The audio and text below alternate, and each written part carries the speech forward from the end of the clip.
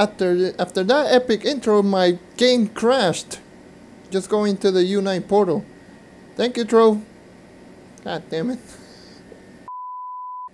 Be sure to let me know which character I should do to get uh, to 20,000 power rank in the next episode. I forgot to to, uh, to tell you in this intro in this video.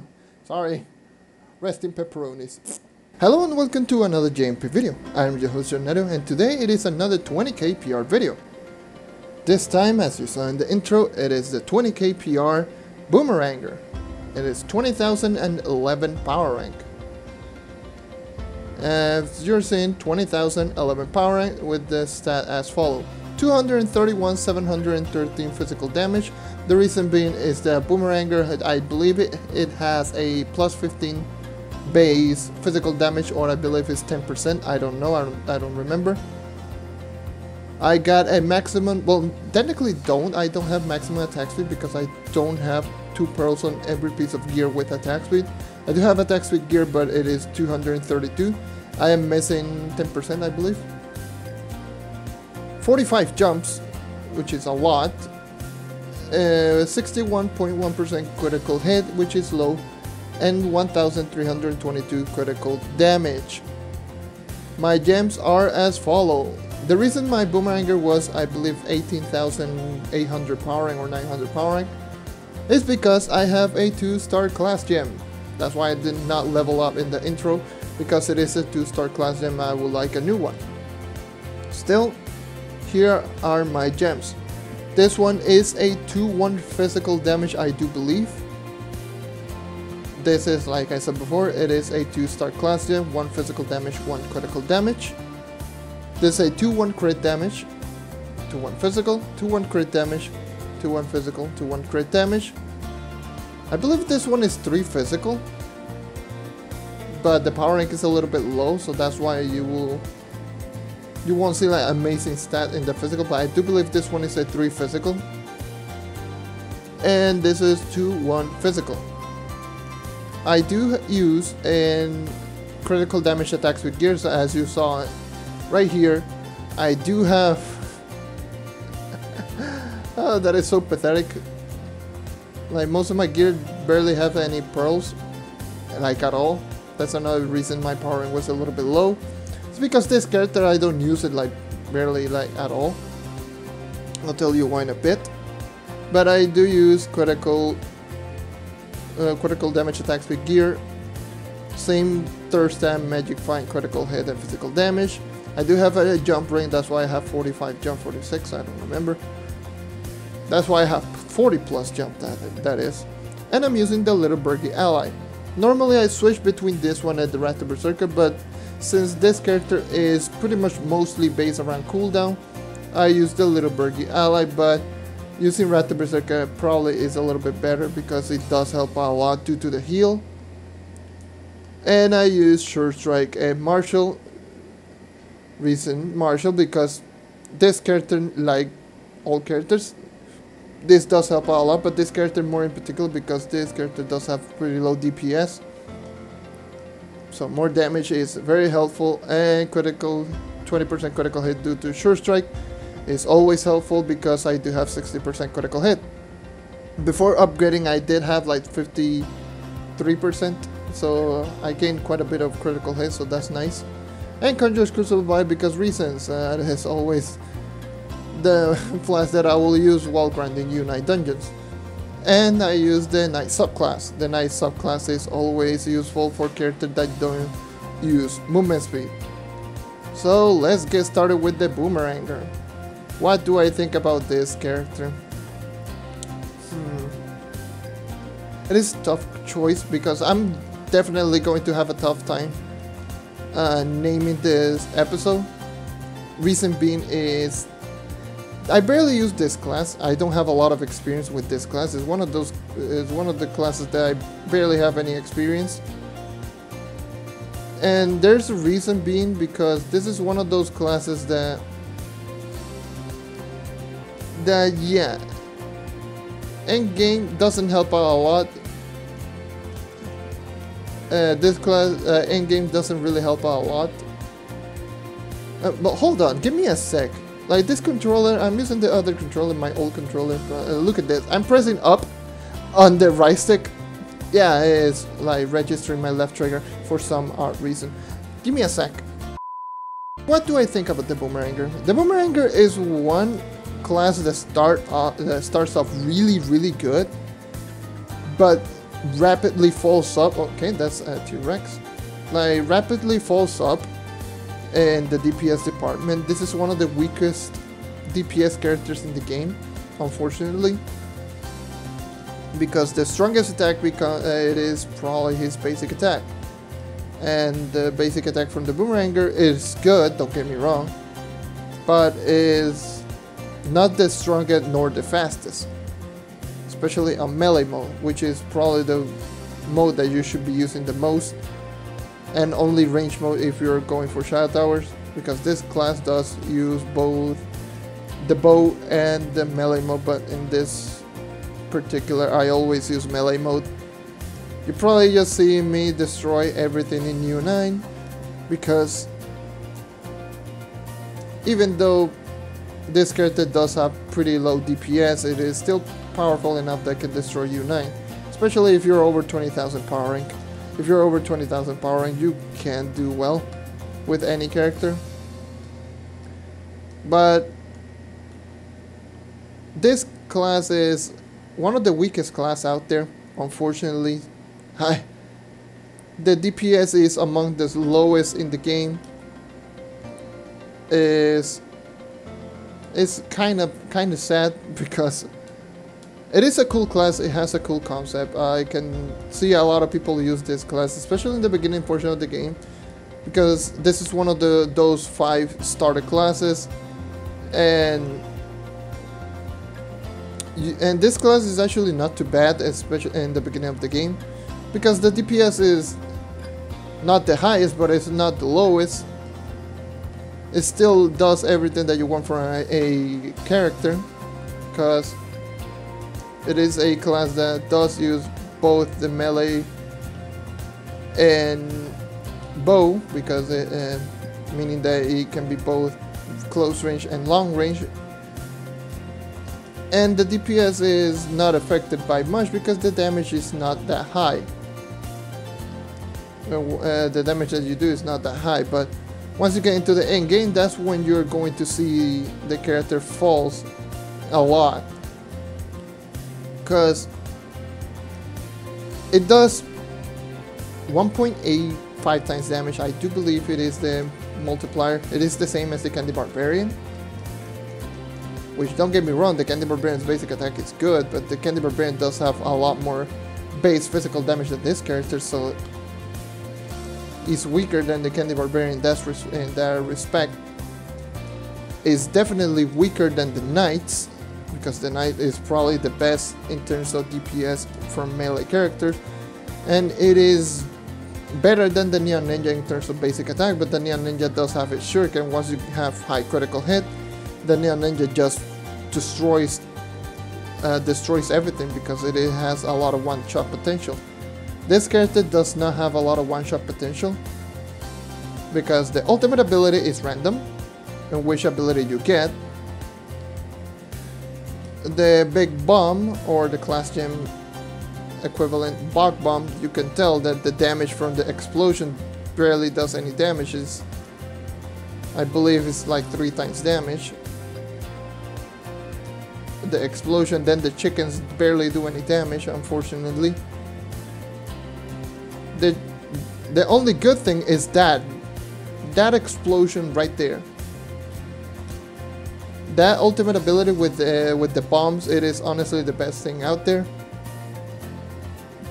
Because that in itself does ridiculous amounts of damage. I believe that each and every single bomb does like 5 times damage. And it summons like 6 of them. So one incredibly high burst damage will kill pretty much a lot of things. Has the potential of being the strongest raw multiplier ability in the game, but it is random. It is 1 in 4 chances, so it has a 25% chance of spawning. I'm not saying that this class is bad, by all means. Like, this class can be good, this class can be effective, but it is weaker in every sense of the in every sense of the word weaker than pretty much every class in the game. Basic attack, the knight is better. Uh, the first ability, meaning the the the first ability that you get at level one, the knight literally has the best one. Or the knight or the candy barbarian. I'm talking about like starting classes, by the way. The bombs, the big bombs, is good for utility because you can use this to get yourself a lot of ores and this will help a lot because it is technically free bombs. But the damage is just pretty low so it doesn't have any uh, mobility. So yeah the candy barbarian has it a lot better than I as well and also the neon ninja has it better because they're all of them their mobility. And the ultimate ability meaning it it does a lot of damage but it is a chance. So the candy barbarian is a lot better because it's guaranteed that you throw a cone and pfft, destroy life.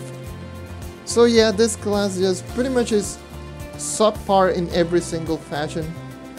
And once you get into the end game you will definitely feel it. Because since like I said before it is subpar in every single category. Is the DPS is not the highest on any ability. The only strong ability is random. The chickens that you can tell they do like half the uh, half my damage. Well, half the damage of the basic attack. So I believe they do like 0.75 times damage or 0.66. So they don't even do like one times damage each chicken from the class gem. If we're talking about the chicken from the ultimate ability. The chicken from the ult does over 1 times damage. I believe they do like 1.5. But the chicken from the class gem does a lot less damage. And yeah, that's all I had to say with this class. It's honestly one of the weakest classes in the game. It is good, you can use it at any portion of the game, but if you if you want to use a really good starter class, just go with the Knight or the Candy Barbarian. Because they, both of them have better utility in every uh, like everywhere in like any portion of the game.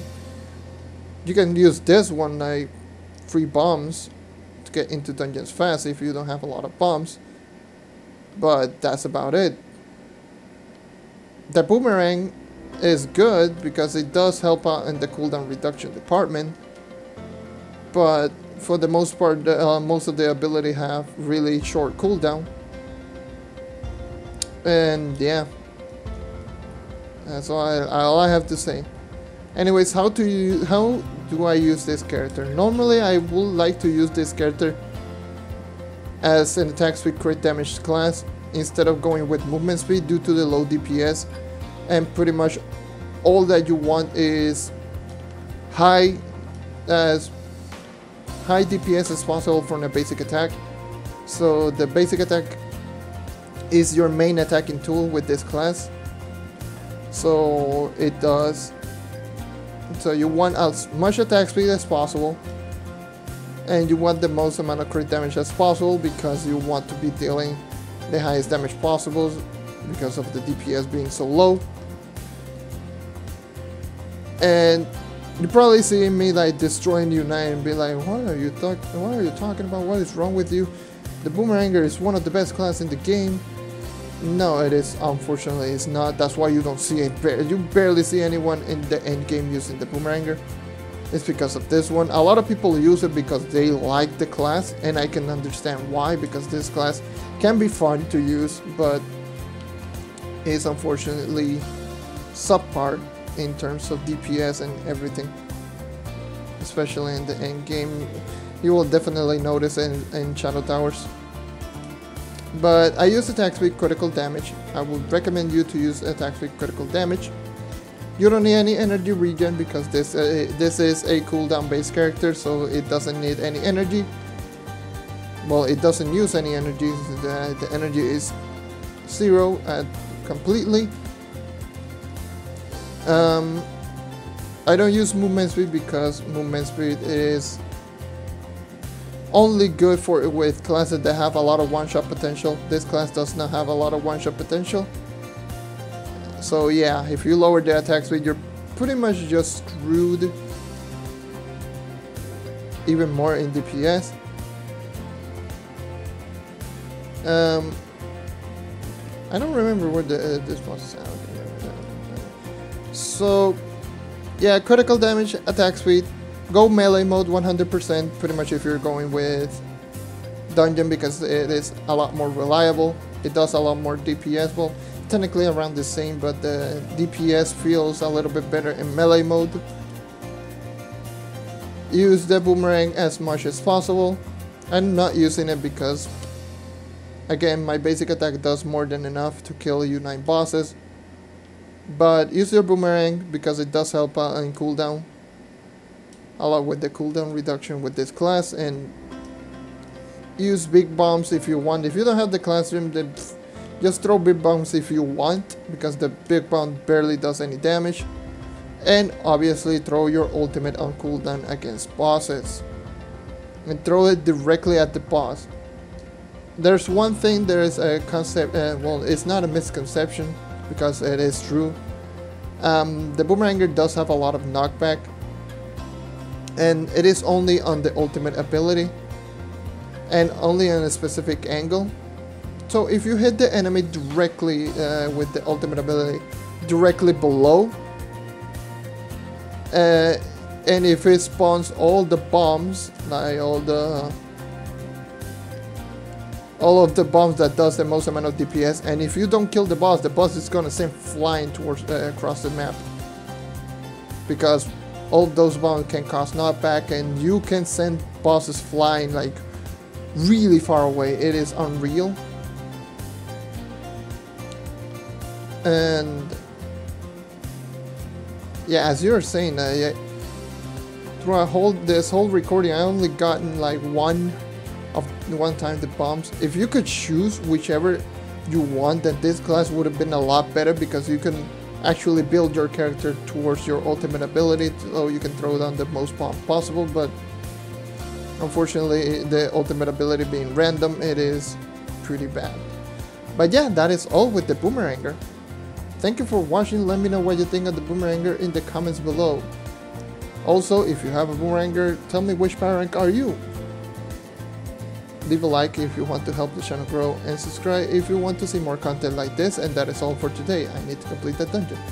Once again, thank you for watching, and I hope to see you next time. Take care, and keep on hunting. And remember, this character is good, it's pretty good, but it falls a lot in DPS. So don't expect to be in the top DPS possible with this character. See ya.